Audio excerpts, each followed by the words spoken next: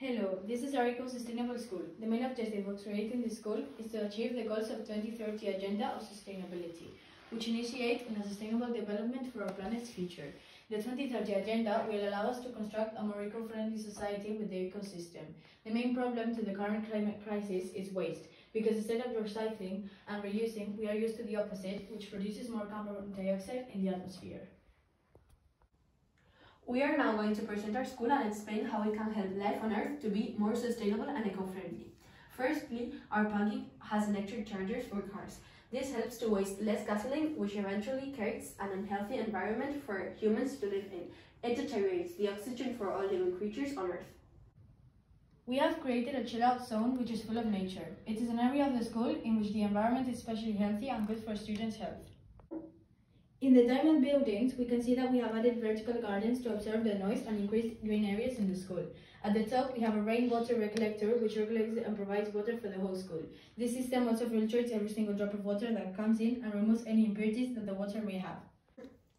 Next to the buildings, in the outside area, we have some recycling bins which are going to help reduce, reuse and recycle of the possible rubbish that the school can generate. We have added four different recycling bins for plastic, glass, cardboard and organic material.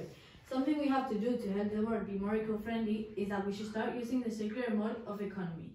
Because the linear one means that you just throw away your waste and it regenerates. But if you start using the circular one, your waste becomes resources. Next to the bins, we have added a composter, which is going to help turn every food waste from the school commoder into ecologic compost for all the plants and gardens in the school.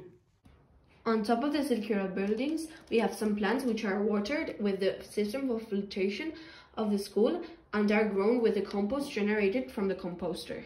On the two smaller buildings and the main one, we have some solar panels which will conduct and provide electricity for the school. Their use is getting the sunlight and turning it into electricity current. There is a small orchard with fruits and vegetables for the canteen, which is planted with the compost generated and also watered by the water filtrations. This also helps the school by avoiding transport from far away and producing carbon dioxide in the atmosphere. We have some windmills which are going to provide clean energy source. Lastly, we have a small lake which provides more water filtration for the school.